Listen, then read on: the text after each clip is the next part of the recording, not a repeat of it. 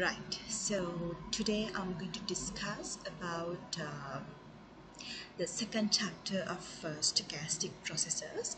Uh, since uh, we have the basics, what you most of the things that you have already gone through in your first year and second year in this uh, first two chapters. So because of that, I'm going to uh, run quickly from the first two chapters right? So uh, in this chapter we are going to talk about the conditional probability and about the partition theorem and the Bayes theorem. That is uh, things that you have already learned by now. So apart from that uh, when it comes to stochastic processes how to use these partition theorem and the Bayes theorem? In the first step analysis to find the probabilities to find the probabilities for a given uh, process uh, for reaching a given state right? And uh, conditional probabilities for continuous and discrete random variables. We we are going to discuss those things in this uh, second chapter. So as we discussed earlier as well we know when it comes to a random experiment we never know about the outcomes right? Outcomes are unpredictable. But when it comes to a random experiment if we write all the set of possible outcomes as a set we call it the sample space. And then if you take any subset of your sample space we know we call it as as an event right? Uh, that is if you take a particular event it is simply a collection of some of the outcomes of your sample space. So for an example if you take a person in the classroom at random right it can be a male student or a female student. So anyone we never know whom we are going to pick at random. So our sample space is all the people in the class but if you consider about only the males I can take it as an event where event A is all the male students in the class. So when it comes to event A uh, A occurs if the outcome of the random experiment is a member of the set, right? Uh, that is when you have when you're talking about an event it should always be a subset of your sample space right so here in the example event a occurs if the person we pick is male right so if uh, we want to put an outcome put an outcome into an event that outcome of the random experiment should be a member of or should be uh, should be an element of that set A. Okay if we pick a male only we can put to this event A. So when if you can remember when you um, when you were learning about probabilities. So we have some uh, constraints or we have some conditions right?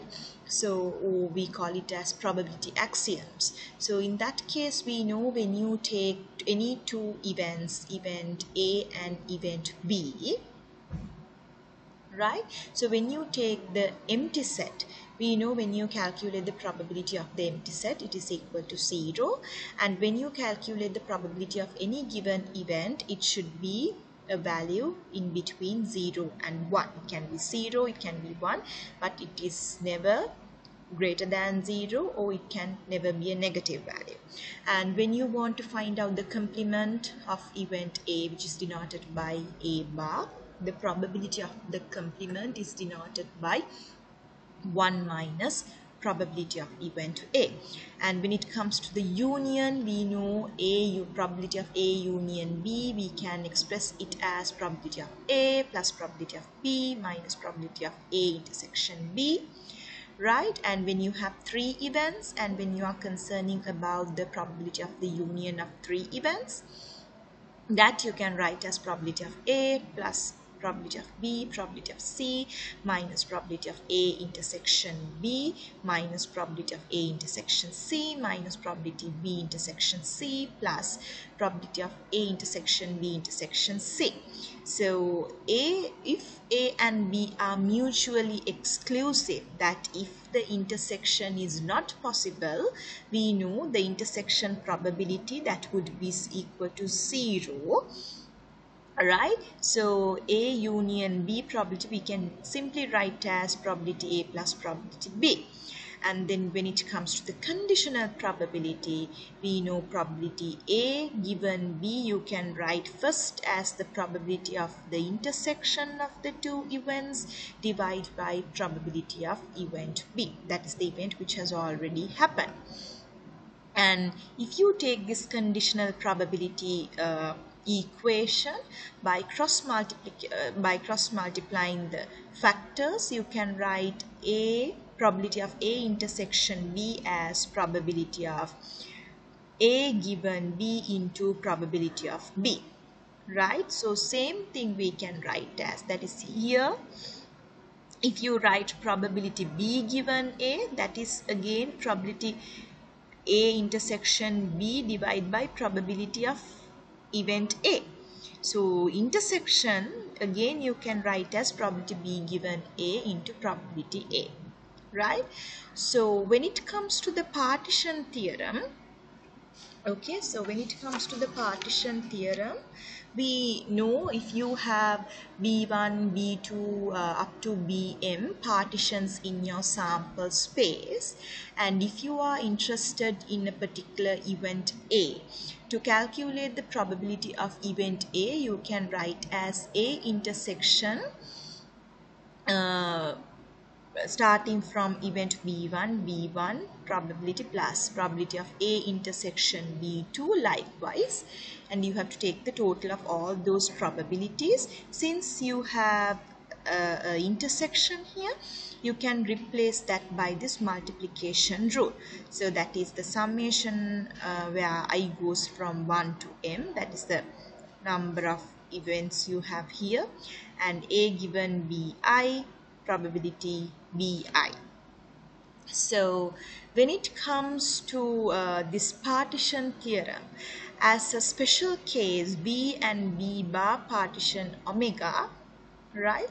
So if you take the probability of A is equal to A given B plus and uh, plus probability of A given uh, A intersection B bar right? That is here what we do is you have your sample space you have only two events. That is event b and the complement of b so here we are interested of event interested in the event a. So we are going to find out the probability of event a that you can write down probability of a intersection b plus probability of a intersection b bar. So you can replace uh, the intersection part you, with the multiplication rule right so you get probability a given b into probability b plus probability a given b bar into probability b bar.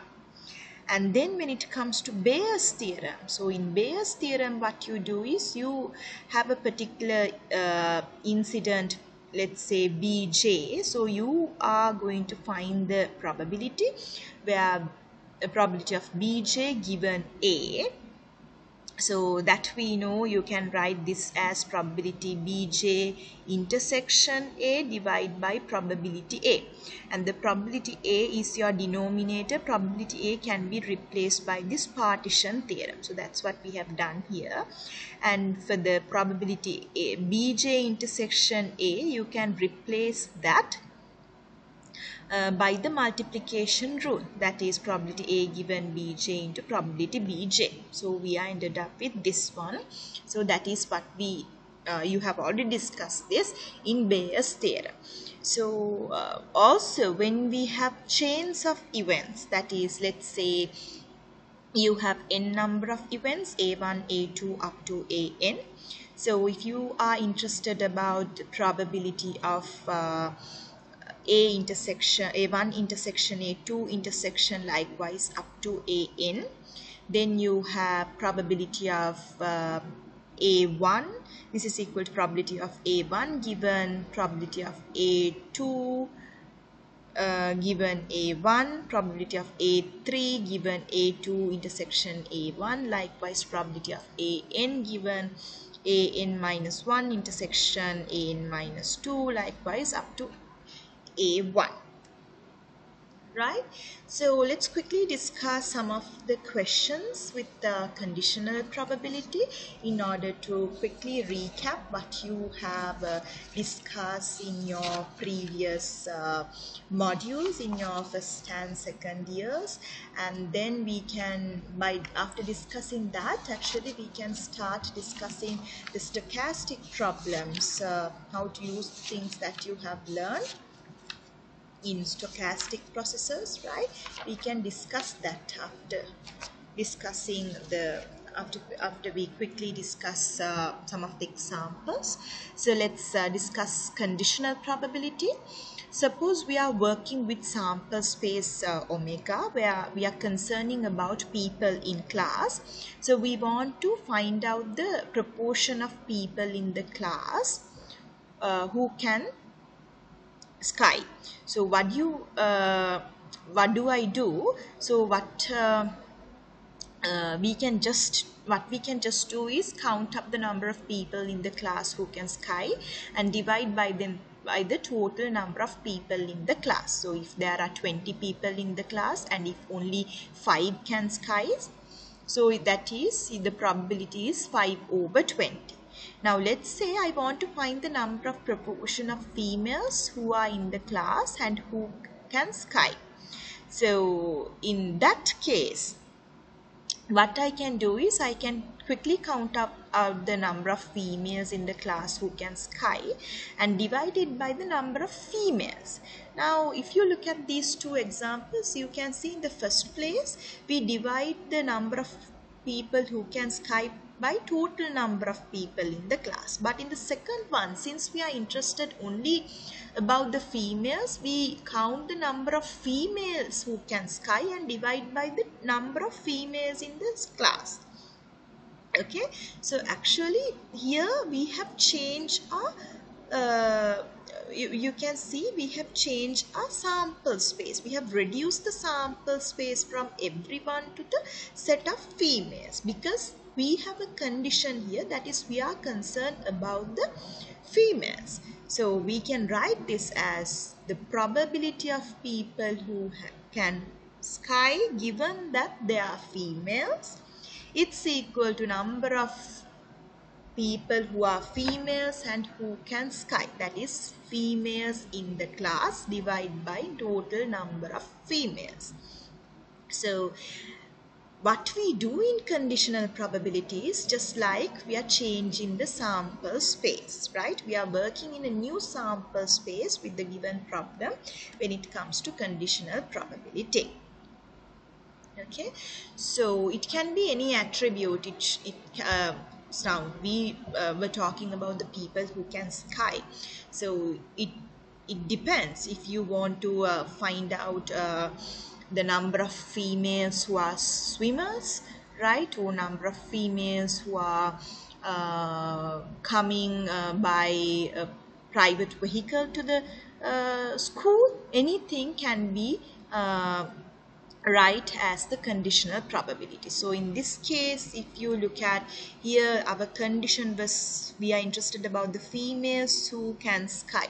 So we are we are going to find the probability of that. So if likewise if you are going to find the probability of an event b right of females you can write it as probability of b given female right? So likewise the conditional probability you can write uh, the conditional probability of any event b given event a you can write as probability b given a is equal to probability of b intersection a uh, divided by probability of a. So as i discussed in this case uh, if you just cross multiply you get the conditional rule right that is you will get two equations for the intersection as intersection A given B and B given A, uh, uh, intersection A and B and B and A that's the same. So you ended up with two equations when it comes to the multiplication rule.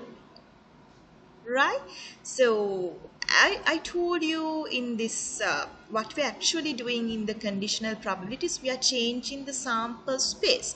But when we when we just write the unconditional probability that is if you just want to find out the probability of a given event b where we write as probability of b actually when we do the calculations there we are talking about the event b based on our sample space so in the unconditional probabilities also we can write it as probability B given omega where omega is our sample space. But that is actually uh, uh, when we uh, use this symbol that is probability of B we know we are talking about the unconditional probability therefore we have to refer the sample space. So there is no meaning of writing it like this right? But just for your information we do the same thing there as well right?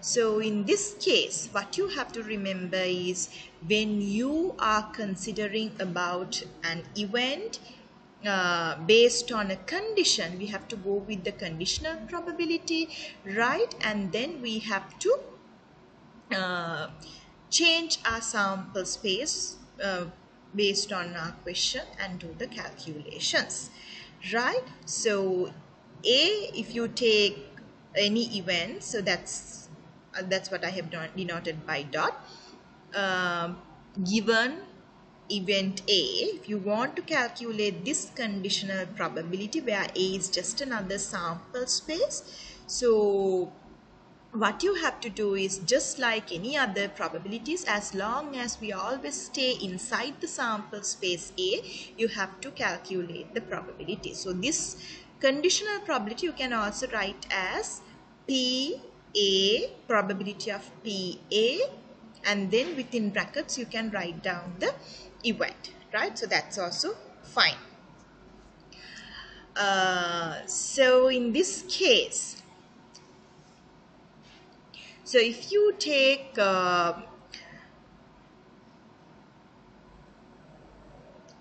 so if you have let's say if you are uh, given with this probability that is p probability of p a within brackets b given c. That is a is also an event which has already happened. C is also an event which has already happened okay so this one we can write probability of B given C intersection A for any given A, B, C three events. So the proof is there. If you want you can just search on net and look at the rule. But uh, anyway you can quickly apply this uh, into the questions right? If you are interested of uh, an event B and if event C and event A has already happened, when you take the conditional probability, you can write it as probability of B given C intersection A. Okay, so we know when it comes to the union of two uh, two events right? B and c.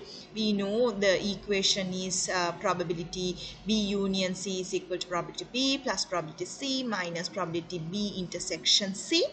But for the same thing if you apply the conditional probability right? That is if you are going to find the probability of b in union c given a you can write it as p a p e union c equal to probability of A, B plus probability of A, C minus probability of A, B intersection C. That is, we are going to calculate the probability of uh, B union C given A equal to probability of B given A plus C given A minus probability B intersection C given A right? So here I have put some examples for you that is to find out which is the true one. For an example if you take probability B intersection C given A. If you take this one you can take this A into the probability part and since it's the condition you can write it probability of A B given C and for the prob uh, probability of A B intersection C. And for probability of B intersection C again you can write down the uh, multiplication rule. That is you can write down uh, probability of uh, A B given C into probability of A C right?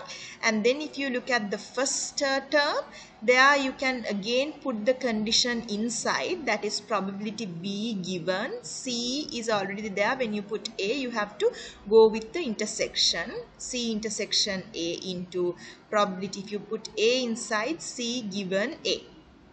So if you look at the correct answer that is answer C. So likewise you can just uh, do these examples at home and see what is the correct answer. And then we have the partition theorem.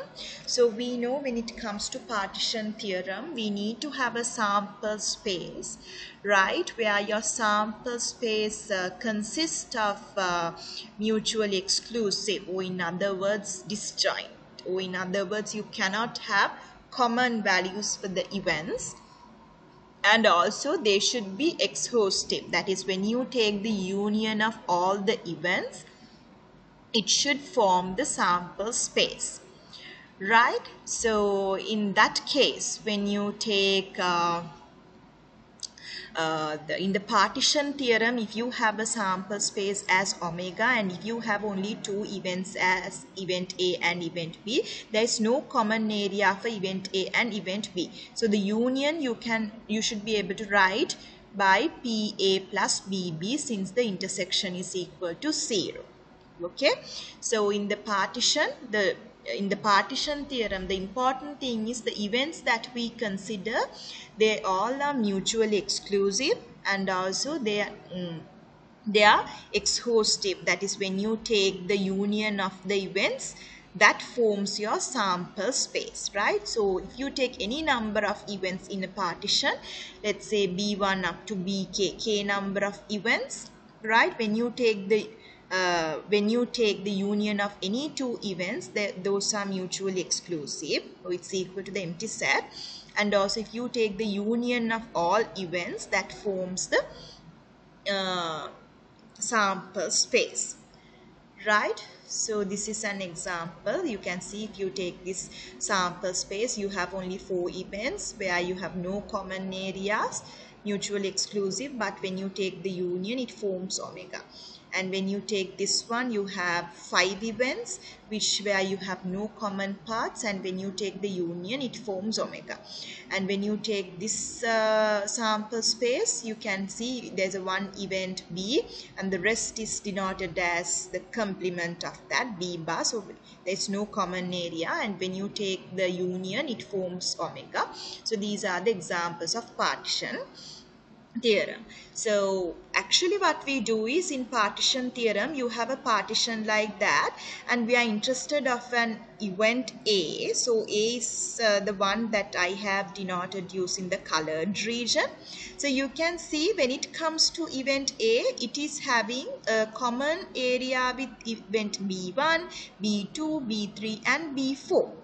In other words, when we are calculating the probability of event A, that is equal for calculating the probability of the common areas, the, the probability of uh, the, these common areas of each and every event with event A. So if you take a with B1, A intersection B1, I can calculate that probability. Plus A intersection B2, A intersection B3, A intersection B4 likewise. So since this is uh, intersection, I can replace the intersection by uh, the multiplication rule. That is probability A given BI into probability BI right? So when you take the total you will get the probability of A that's what we do in the partition theorem, the total law, uh, in, in the law of total probability.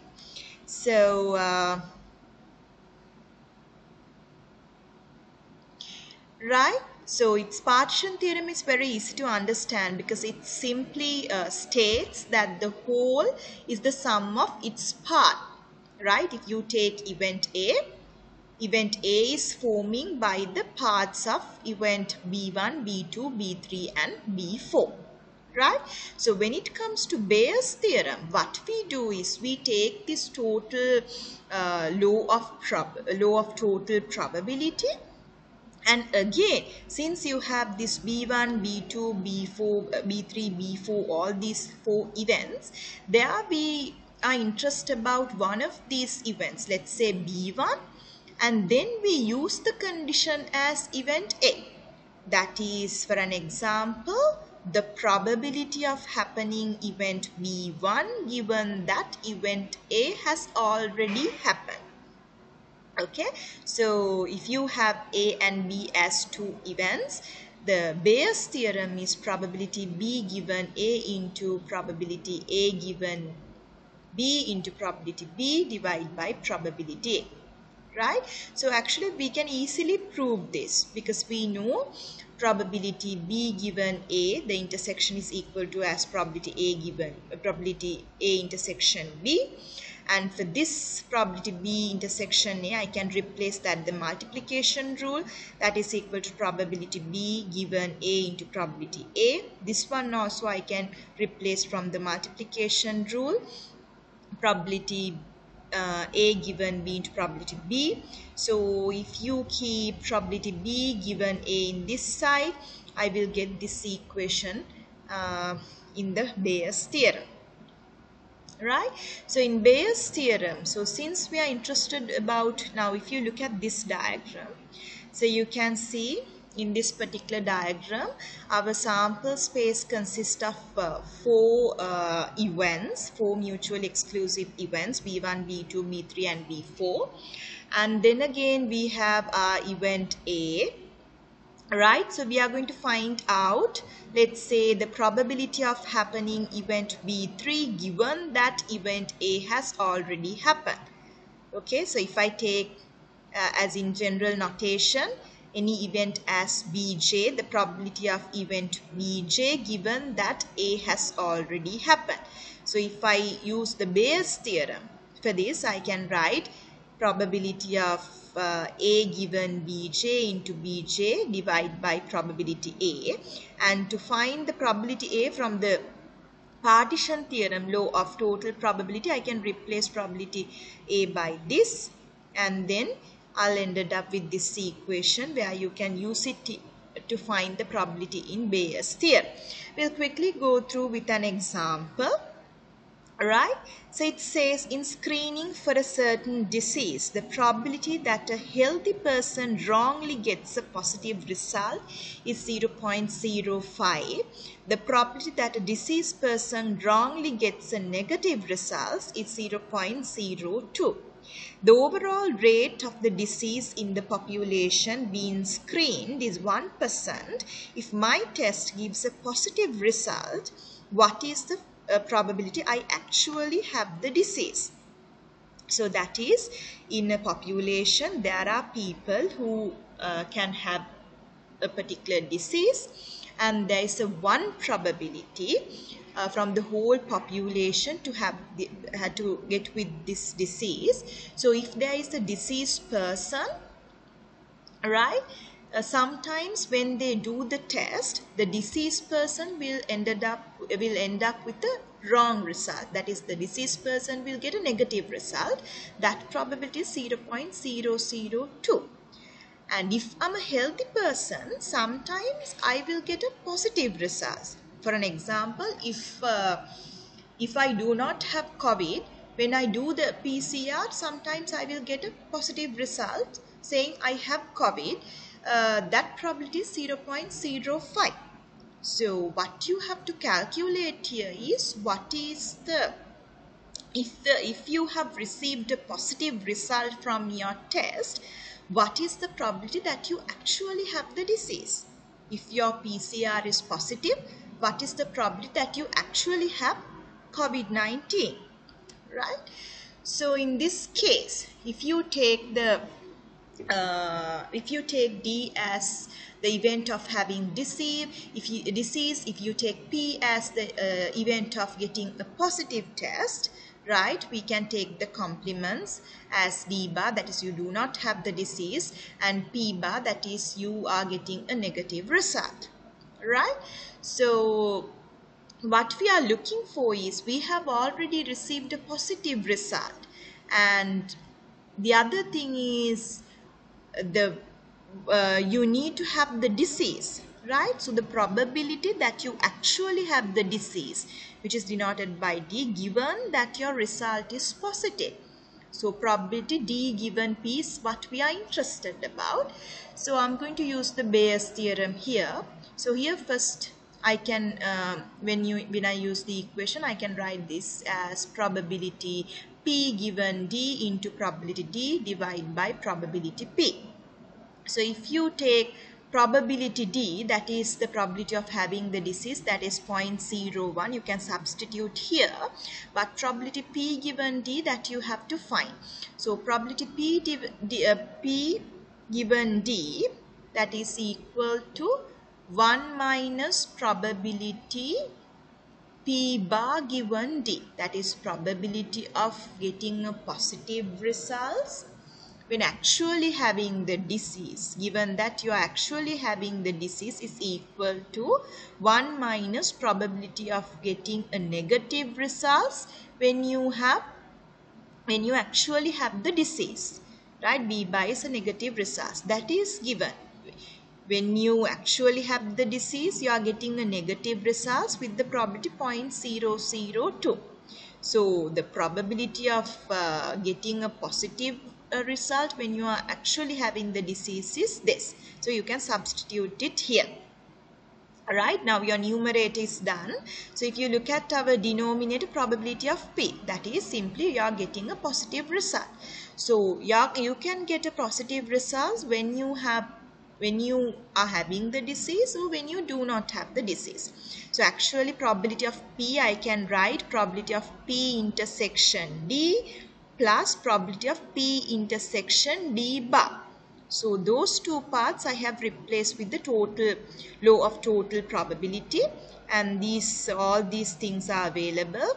So when you substitute you will end up with the probability that is 16.8%. So given a positive test, my chance of having the disease is only 16.8% okay?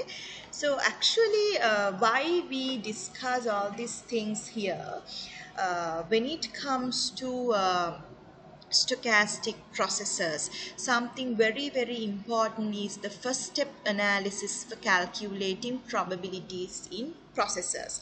So that is something what we are going to discuss here right? So in order to uh, calculate this uh, probabilities using the first step analysis you need to have a good knowledge about the partition theorem and the Bayes theorem and the axioms of the probabilities. That's why we quickly have a we, uh, we had a quick recap. Okay so uh, the idea is to consider all possible first steps away from the current state that is uh, in this case actually in the stochastic processes what happens at the next steps depends upon the current state of the process. So we often wish to know the probability of eventually reaching some particular state given our current condition. That is in the stochastic processes you are having many states right but what you are going to do in the next step is only depending on your current state right so if you are going to start from one particular point and if you are going to end up in a one particular point right we can find out the probability of reaching this endpoint given that you have started your process in this particular point. That's what we are going to do. But the important thing is what going to happen in the next step? Or your next step is only depending on your current step okay. So in the first step analysis what we do is it's all based on this conditional probability and partition theorem. Right? So let's say you have s1 s2 up to sk k possible first steps we can take away from our current state.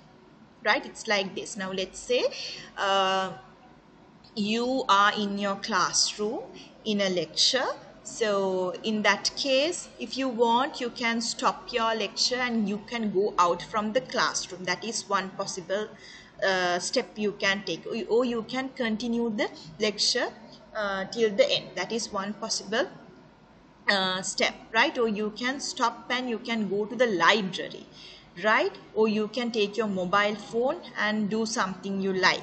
So there are uh, various things that you can do or various steps that you can uh, do uh, from your current step right? So likewise if you have k number of possible steps that you can do in the next instance that is you have k number of first steps right? So we are going to find the probability of event e happens at the end right using this first step analysis okay so in this case uh, when you take the probability of uh, going to the library or uh, stalking uh, Facebook, all these events, let's say we have k number of first steps. When you take the probabilities of all these first steps, right, they give the probabilities of taking the different first steps, right? So we'll uh, go through with an example so it will be clear for you. So the tennis game that I uh, explained you at the introduction session, right? I told you if two people are going to play a tennis game and if they are having uh, an equal score, that is they at the deuce point, right? No one is going to win or lose. But if one have to win, right, they need to conduct another two rounds okay uh, now let's say there are two players Venus and Serena so they are going to uh, play the game and let's say the probability uh, of winning the game for Venus is P that is probability of uh, and let's take probability of winning the game for Serena is Q. That is 1 minus P. Let's say uh, they, all the points are independent okay so we are going to find the probability uh, that Venus wins the game eventually start starting from a, a deuce state. Okay so this is what we are considering. Now both are having equal scores we are starting from this deuce place and then what happens first uh, if uh, Venus wins the first game with probability P, now she's ahead. That is, okay. Uh, and then if she wins the second game also, she will win the whole match. And if you're in the deuce place and if Venus lose the first game, that is Venus is behind, Serena has won the first one.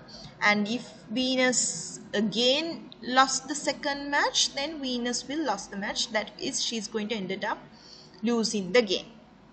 Or else now you're in the deuce place deuce state and if the Venus win with probability P and in the second round Venus again if the Venus loses the game again you are coming to this uh, state.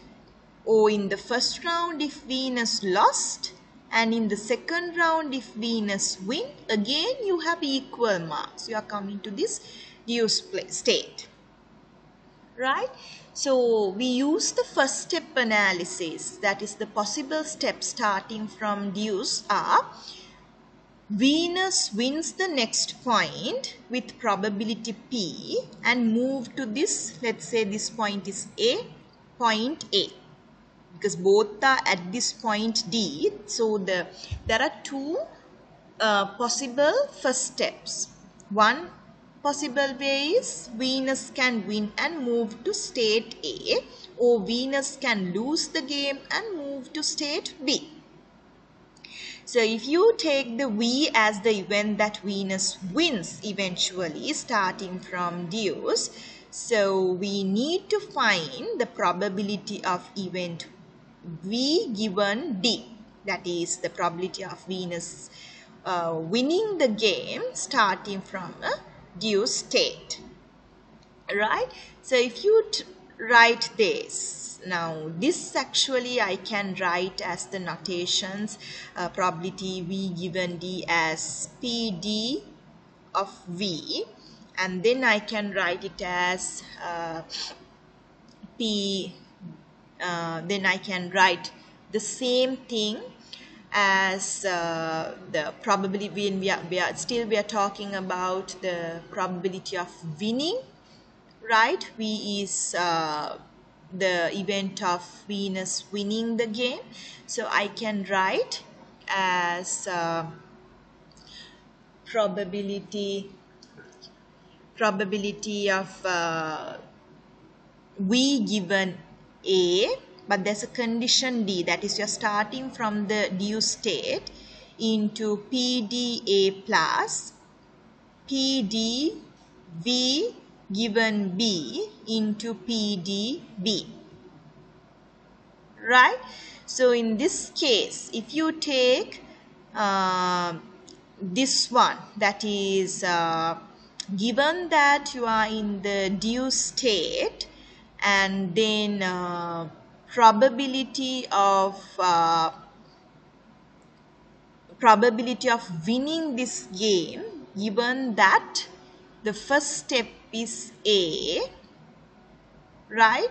You can write this one as here we are moving from D to A this probability as P right? That is given that you are in state D and you are moving to state A. PDA means D has already happened. You are in state D and you are moving to state A that is given with probability P.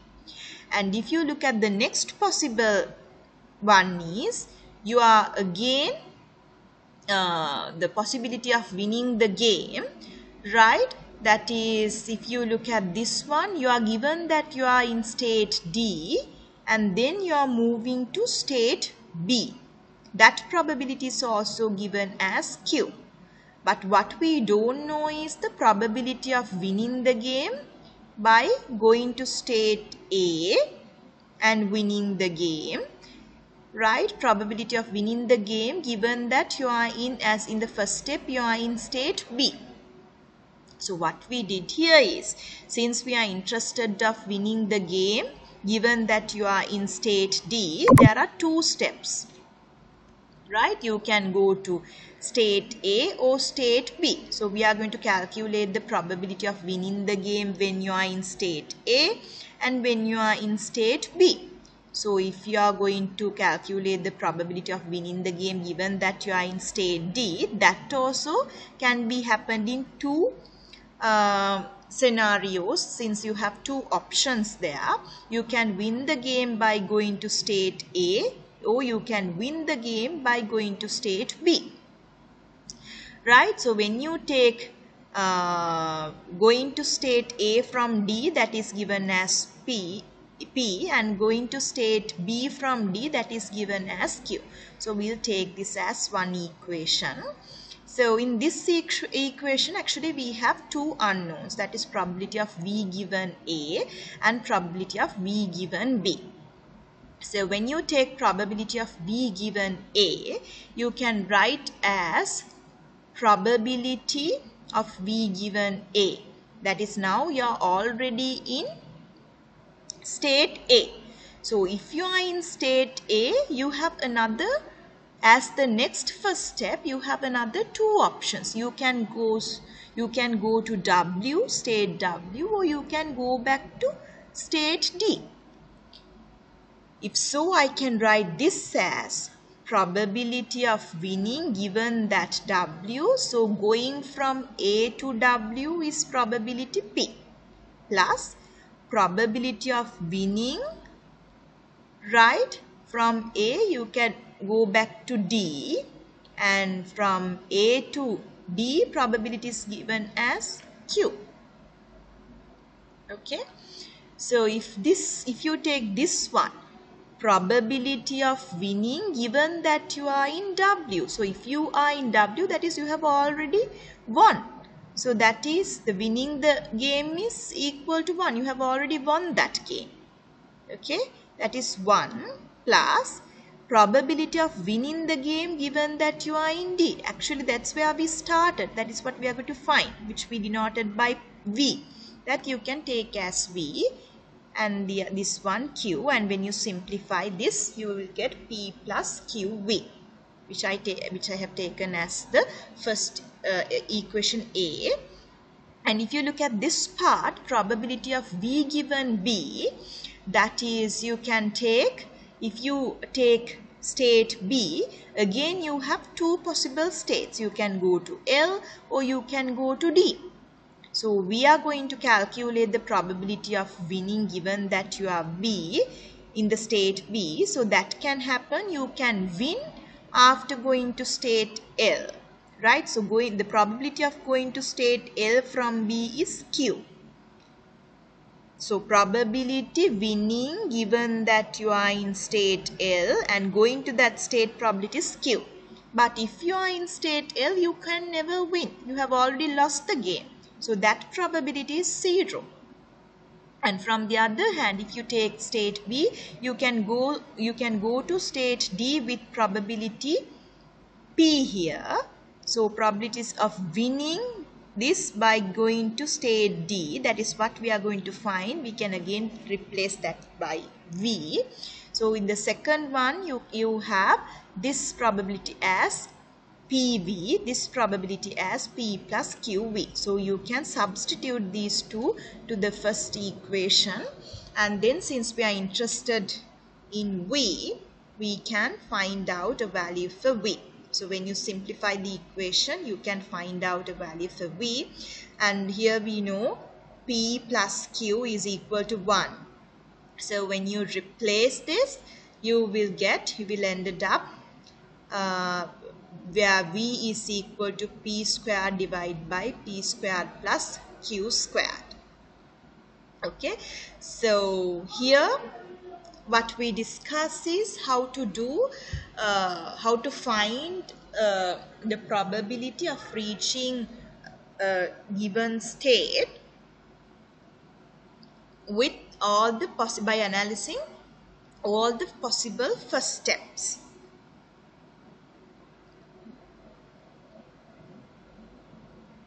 I think that is clear with you. So when it comes to the first step analysis uh, with the partition theorem, so what we are interested in is about winning, Venus winning the game. We want to find out the probability of Venus winning the game. So that is equal to probability uh, Venus winning the game given the first step given that Venus in, is in this particular first step multiply the probability of reaching for that first step. Right? So this is what we discussed. Right? So the same thing I have just used the notations again as in the uh, partition theorem right? So you can if you use the partition theorem uh, in the first step analysis you, again you will end up with the same thing right? So that is we started from here. Venus is in state D and winning the uh, game is denoted by simple V. So VD means Venus is going to win the game by starting from state D right? So that is the probability Venus wins eventually start at state D. If you take VA, Venus wins eventually start at uh, state A. And if you take VB, Venus wins eventually start at VB. Okay, so if you take the first step analysis, if you take, if the Venus is in state D, right, Venus can go to state A, or state B. If Venus is going to state A, then since we are interested about winning the game, so Venus is in state A and we want to calculate the probability of winning the game. That is VA going to state A, the probability is P. So PVA plus from D to B probability is Q and now Venus is in state B. So that is VB. So when, when you are in state A, there are another two possibilities. You can win the game, the probability is P, or you can come to state D with probability Q. So if you go to P, you will again definitely win. So that probability is 1 and the probability of going to winning state is P plus if you are going back to D that probability is Q and this uh, deuce state. Now we are in the deuce state that uh, that you can replace by winning from the deuce state as VD and if you are in this uh, state B that is you can goes to you can go to uh, state L and win right but going to state L the probability is Q. But if you go to state L you will never win. That probability is 0 or else with probability P you can go back to state D. So that is PVD so you have three equations here. When you solve three equations simultaneously what we are interested is in VD you can find out the answer for VD so I think this is how uh, we apply the first step analysis uh, in our stochastic processes.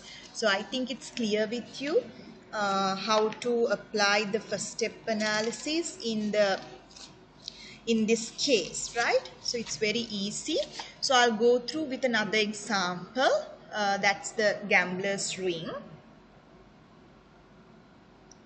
So if you can remember, what happens in gambler's ruin is you have a particular amount you have some amount in your hand and you're going to toss a coin.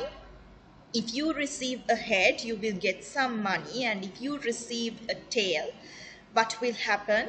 You are going to uh, lose some amount. So you are going to uh, stop the process when you reach uh, let's say thousand dollars and or if you lose everything you are going to stop uh, stop your game. Right? So this is known as the gambler's ruin so we'll quickly uh, go through this. Now let's say you're uh, a gambler or you're going to start with x dollars x amount of money and you're going to toss a fair coin. Right? So if you receive a head you will get one dollar. And if you receive a tail you will get you will lose one dollar. So you are going to toss your coin repeatedly until you uh, will lose everything or else you will get n number of dollars capital n number of money and then you stop right? So what we are going to find is what is the probability of the gambler's ruin or what is the probability to end the ga game with zero uh, value in your hand. What is the probability to stop the game after losing all the money you have? Okay, so if you just uh, graph this story, so you have X number of money here. So when you're tossing a coin to get the probability of receiving a head or receiving a tail, we know that is 0.5 right? So there's a probability to get 0.5 and to get receive one dollar each and every time and to reach n value. Or else every time there's a probability of 0.5 to lose one dollar and eventually you will lose everything. So this is the picture right? So what we are going to find out the probability ends up in 0 that is this last state starting from this state x starting with x number of money in our hand. So we'll take r as the eventual ruin. That is we end up with 0 dollars. We have no money in our hand. We'll take that event as r that having zero money in our hand So that is we want to find the probability of event R given that we are starting from X. Okay, so we uh, as the general notation since we have x number of money we denote this as px that is when we have x number of money the probability of ruining the game starting from x number of money so x can be 0 1 up to n any value. Okay. So let's see how to uh, find out the answer uh, using the first step analysis. Okay. So here if you take let's say you have zero you have nothing in your hand and if you have nothing in your hand that is if you look the diagram you have zero in your hand. That is you have already ruined. So given that you have zero in your hand ruin in the game is definitely something can happen.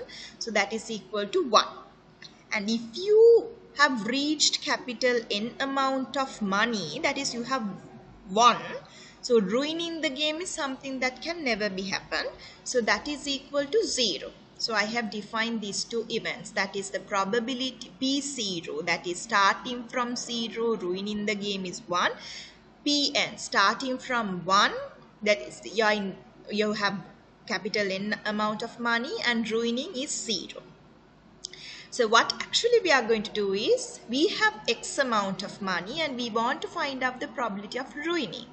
So P probability of R given we have X. So if you look at the picture, if you are in X, you have 0.5 probability to reach into the next one that is x plus 1 state. Or again you have the 0.5 probability of reaching to x minus 1 state. Right? So those are the two possible first steps there. So since I have the uh, 0.5 probability for each two steps. I'll write with 0.5 probability. I can go to x plus 1 state. Again I have to consider about the ruining or I can go to x minus 1 state if I get a tail. And again the probability is 0.5 and again you have to consider about ruining right so in this case if I take if since here I'm in x plus 1 state I'll write it as px plus 1 and this one as px minus 1 so that is 0.5 into px plus 1 plus 0.5 into px minus 1 so this is true, right?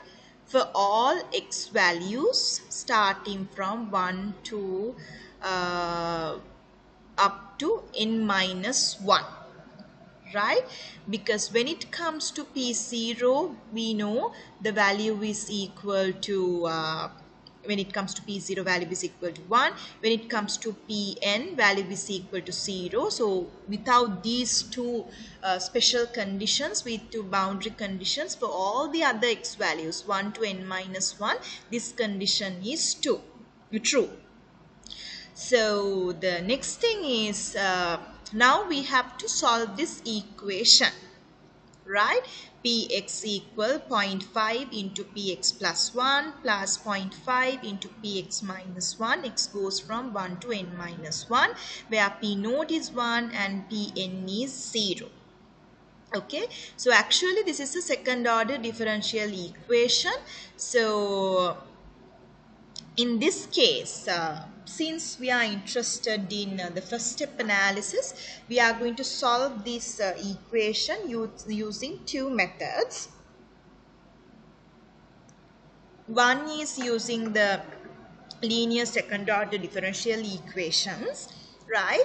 So first uh, or else the second one is uh, by uh, by inspecting the solution also we can solve this equation so first we'll go through how to solve this using second order differential equations so in generally we know when you have a format as px equal a plus bx for with the two constants a and b the, what we have to do is we need to find the co two constants a and b using the boundary conditions. So we take the equation and we substitute p0 to the equation. So b will go b will omit from the equation. So you will get p0 is equal to a but we know p0 is 1 that is a is equal to 1 and then you have if you substitute capital N that is you have a plus bn but pn is we know equal to 0 that is you have b is equal to minus 1 over n that is if you rewrite this px we know a is equal to 1 right? And then b is equal to minus 1 over capital N. So you can write it like this. Okay the, so that is uh,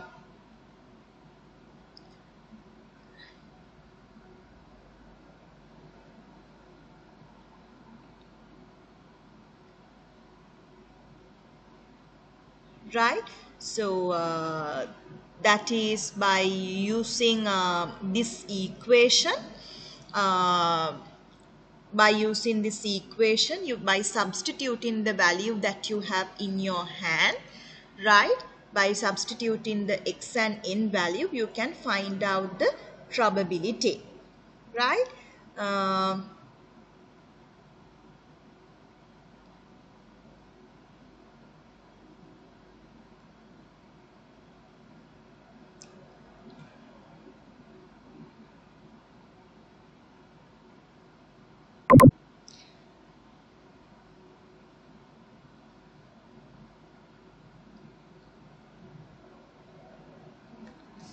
so uh, as I told you that uh, we are going to uh, discuss about uh, two other methods to solve the same question using two other methods.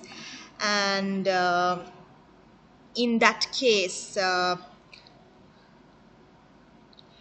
right so before discussing about two other methods I would like to now one of the method is uh, to solve this by repeated substitution right?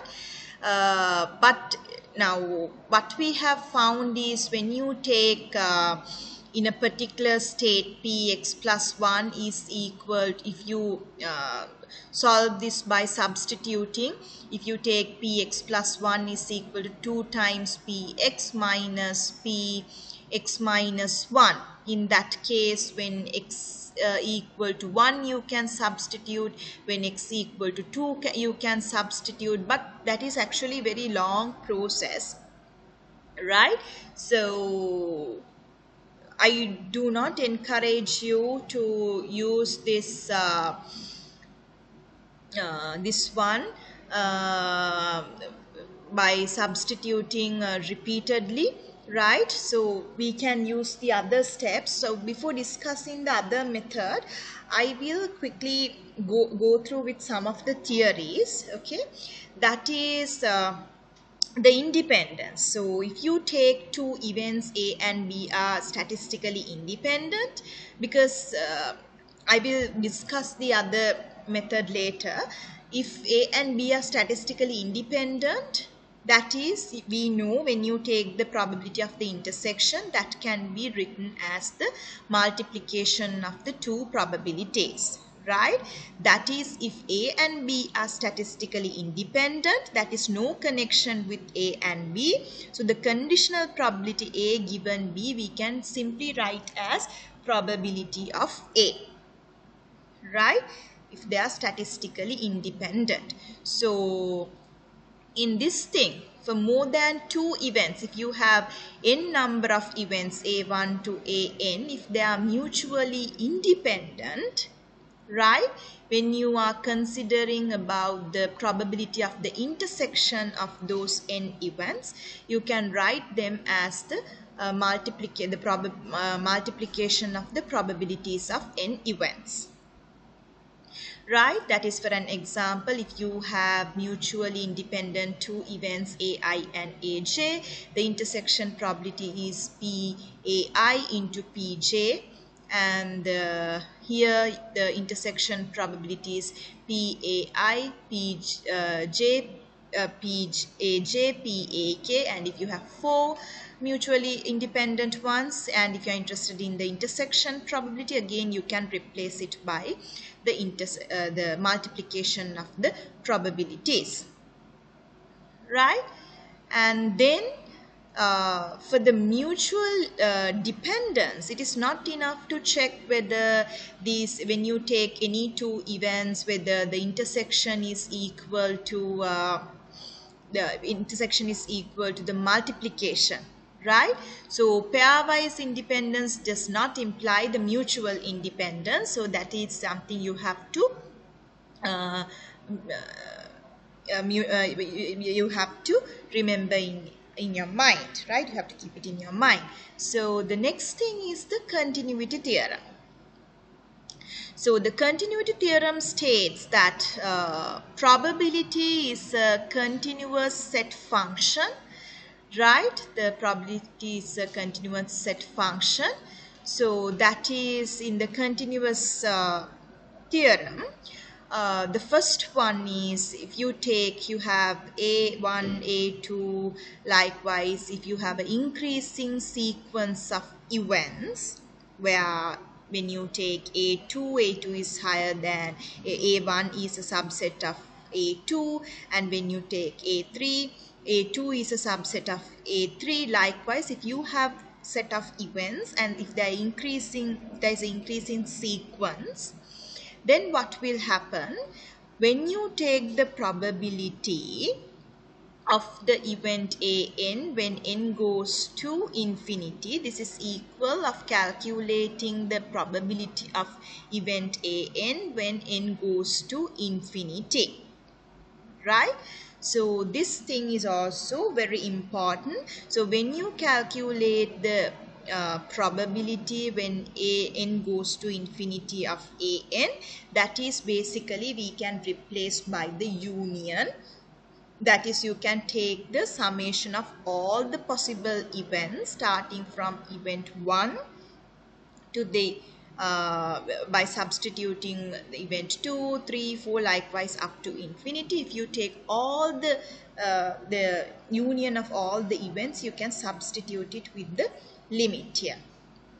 Okay, so if you take B1, B2, uh, uh, B3 likewise as a decreasing sequence of event, same thing when you take the limit you can substitute the limit or you can replace that by the intersection. If it's a if it's an increase in sequence you have to substitute with the union. If it's a decrease in sequence you have to substitute with the intersection. Right?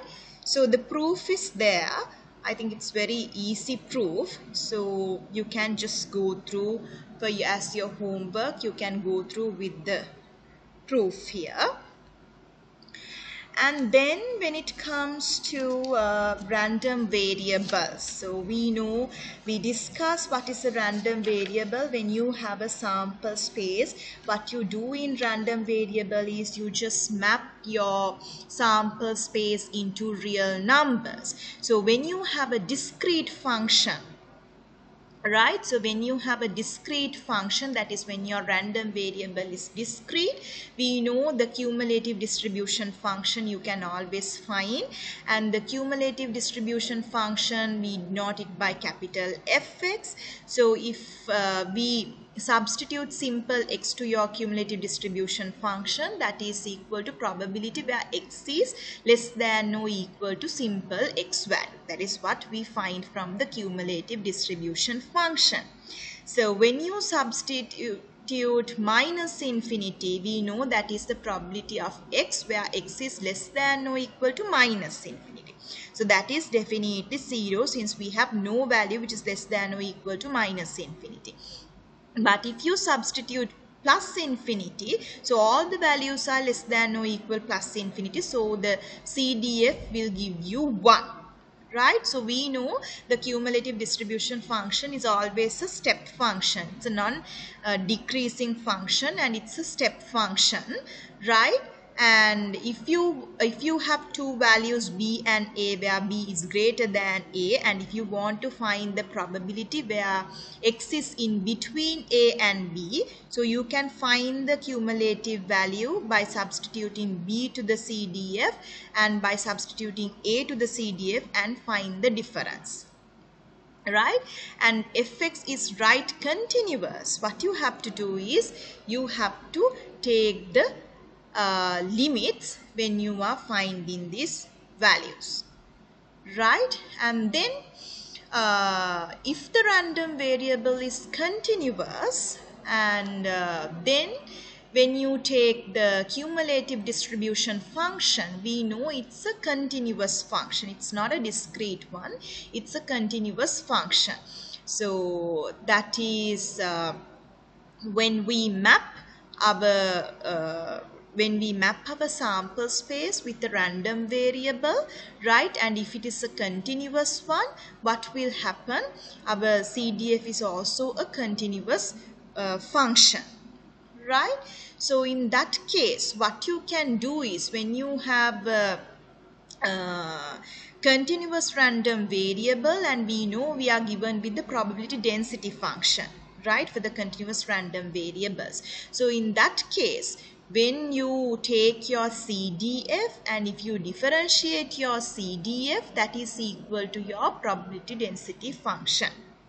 Right? So that is something very important because when in order to find uh, as for an example if you have the exponential distribution and if you uh, integrate your this probability density function of your exponential uh, distribution with its range because we know in exponential x can goes uh, to any value right starting from minus infinity if sorry if you uh, uh, when in exponential x can goes x can take only the positive values. So when you find the CDF what you have to do is you have to take the probability density function and integrate that in between minus infinity to x right? So that will give you the probably uh, cumulative density function for the continuous distributions. Right?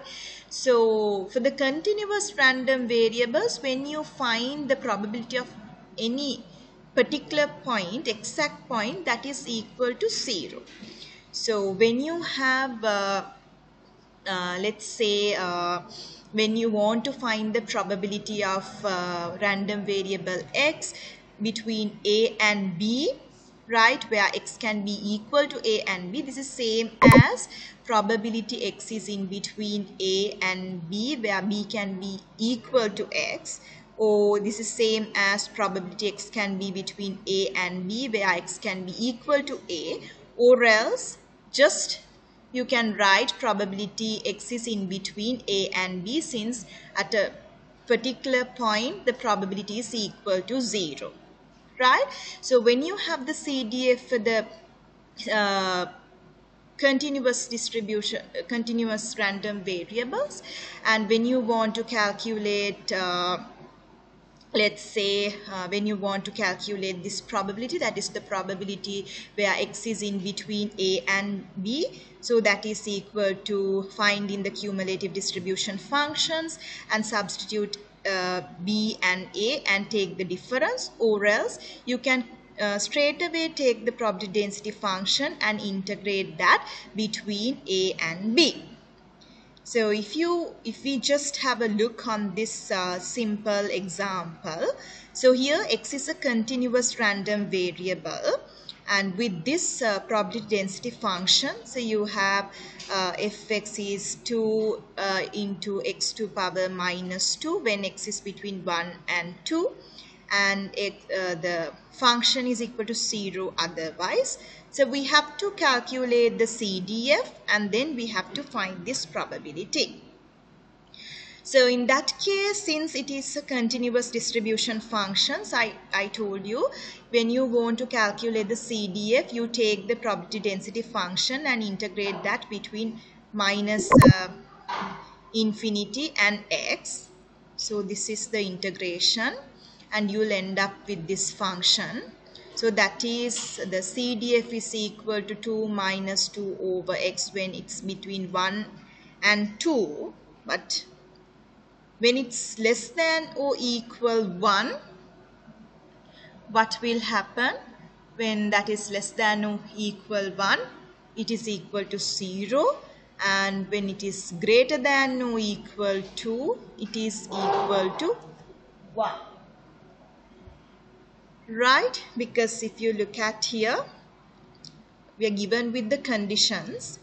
Right? So you can check what will happen when this year since you are uh, you can substitute 1 here you can substitute 1 here and you can see 2 minus 2 that is equal to 0 that is when it's uh, less than or equal to 1 it's 0 and when you substitute 2 here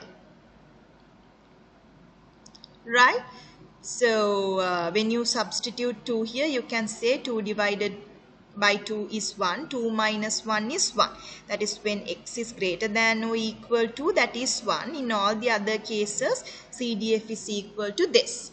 And since we are interested in finding the probability x less than or equal 1.5, now 1.5 is in between 1 and 2. So you can substitute uh, you can take the CDF and directly substitute 1.5 and you will get this equation. So when it comes to discrete random variables, the uh, CDF is a step function because it's not a continuous one. And in this case, we know we have a probability mass function. The probability function, it gives you the probability where x is equal to one particular value right so in that case if you uh, for the discrete variables we know the probability function is always greater than the probability is always greater than 0 right? And uh, the endpoints of intervals are important for discrete random variables as they are having a value right? Because in this case if you want to calculate the probability where x is in between a and b where x is equal to a and b so you have to consider that as well okay. So uh, right because this is equal to where x is in between a minus 1 that o a, a, x is between a minus 1 and b where x can be also equal to b. Because here equation is not there so x is not equal to a minus 1 but x is equal to a because endpoints are important there so if you want to calculate the probability of x where x is uh, x belongs to a for any countable set a you have to take the summation of all possible values there so that's what uh, we do in the partition theorem. We consider about all the possible values and calculate the probabilities. So this is what I have stated again and again, right? The uh, what we do in independent random variables and all.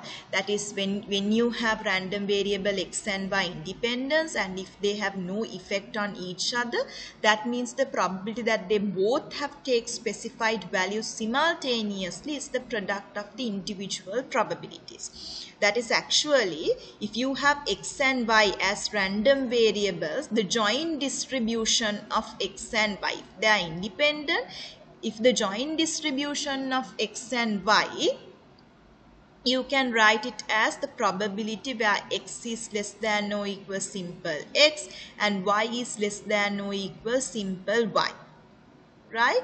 So this is the joint distribution and if these are independent this one we can replace as fxx and fyy that is you can multiply joint distribution you can replace as the multiplication of the cdfs if they are independent right?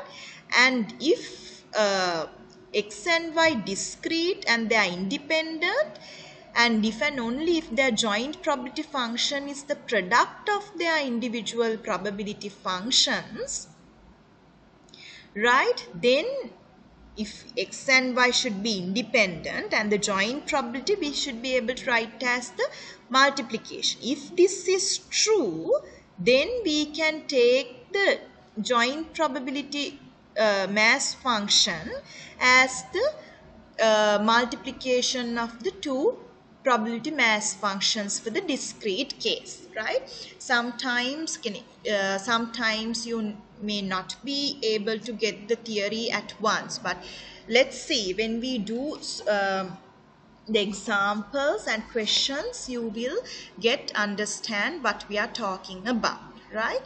So i think i hope you understand about what we discussed today.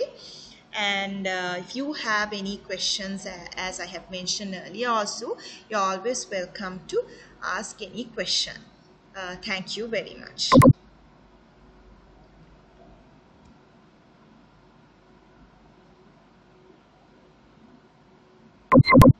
you